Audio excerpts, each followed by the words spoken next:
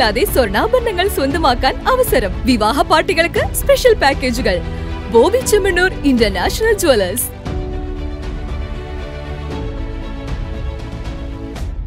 നിറഞ്ഞ സദസ്സിലായിരുന്നു പട്ടാമ്പി ഉപജില്ലാ സ്കൂൾ കലോത്സവത്തിൽ നാടൻപാട്ട് മത്സരം നടന്നത്.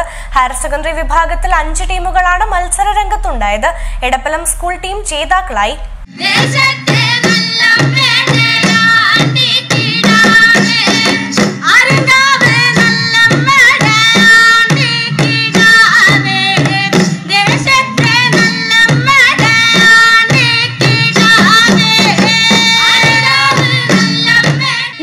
നാടൻപാട്ട് മത്സരം കലോത്സവ വേദികളിൽ എന്നും കാണികൾക്ക് പ്രിയമുള്ളതാണ്. പട്ടാമ്പി ഉപജില്ലാ കലോത്സവ നഗരിയിൽ നിറഞ്ഞ സദസ്സിന് മുന്നിലായിരുന്നു നാടൻപാട്ട് മത്സരം നടന്നത്. ഹയർ സെക്കൻഡറി വിഭാഗത്തിൽ അഞ്ച് ടീമുകൾ മത്സരരംഗത്തുണ്ടായിരുന്നു. വാശിയേറിയ മത്സരമായിരുന്നില്ല ഹയർ സെക്കൻഡറി വിഭാഗം മത്സരത്തിൽ കാണാനായതെന്ന് വിധികർത്താക്കളും സൂചിപ്പിച്ചു. എടപ്പലം പി ടി എം യത്തിങ്ങാന ഹയർ സെക്കൻഡറി സ്കൂൾ ടീമിനാണ് ഒന്നാം സ്ഥാനം. കഴിഞ്ഞ വർഷം നാടൻപാട്ടിൽ രണ്ടാം സ്ഥാനമാണ് സ്കൂൾ ടീം നേടിയത്. ഇത്തവണ വിജയം കരസ്ഥമാക്കാൻ കഴിഞ്ഞതിന്റെ സന്തോഷത്തിലാണ് കുട്ടികൾ.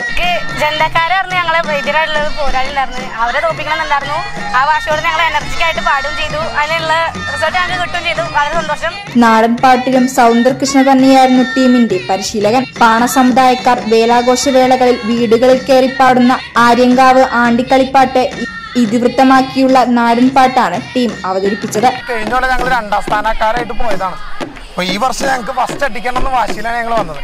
അപ്പൊ എന്റെ കുലത്തിന്റെ പാട്ട് തന്നെയാണ് ഈ വർഷം ഞങ്ങൾ അവതരിപ്പിച്ചത്. തിരുവരംഗത്ത് പാണന സമുദായക്കാര് വേലപൂരങ്ങളോടനുബന്ധിച്ച് വീടുകൾ തോറും കയറി ഇറങ്ങി നടത്തി തരാറുള്ള ആര്യങ്കാവ് ആണ്ടിക്കളിപ്പാട്ടാണ് ഞാൻ ഇവരെ പഠിപ്പിച്ചത്. എന്റെ കുലത്തിന്റെ എന്റെ അച്ഛൻ അച്ചാച്ചൻ മുതുമുത്തച്ഛന്മാര് അതേപോലെ ഞാൻ എന്റെ അനിയനൊക്കെ പാടി വരുന്ന പാട്ട്.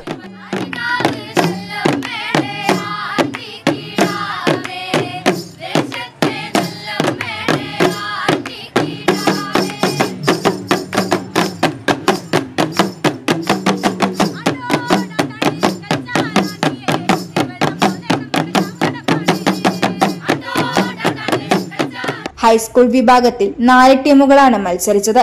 Naduvattam government Janatha higher secondary school ഒന്നാം സ്ഥാനം കരസ്ഥമാക്കി.